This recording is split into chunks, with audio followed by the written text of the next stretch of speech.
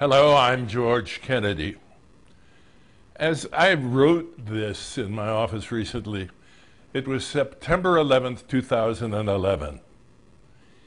In a different office 10 years before, I sat before a TV watching the transformation of the World Trade Center into a crematory.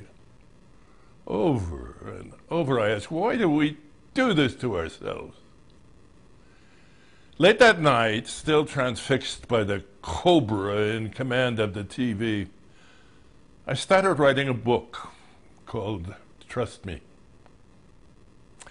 I wanted for us to honestly answer why we covet, why we supply endless youth to slaughter in wars, and hoard unnecessary millions of dollars.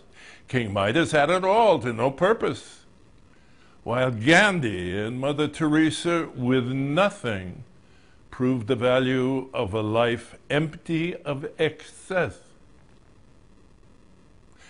Norman Rockwell, gifted with compassion like no other artist, could never have even understood the orgiastic overkill of 9 11.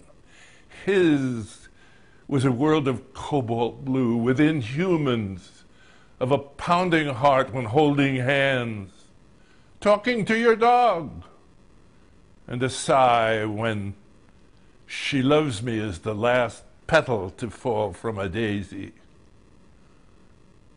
Abe Lincoln helped make black gold available. Baseball, football, and the rest became real national pastimes when blacks joined whites. Because whatever color you are, you are the most necessary person on earth. Without you, I don't exist. My entire 86 years of observation resonates that love one another is life's single brilliance. The Almighty put you here and He will take you back.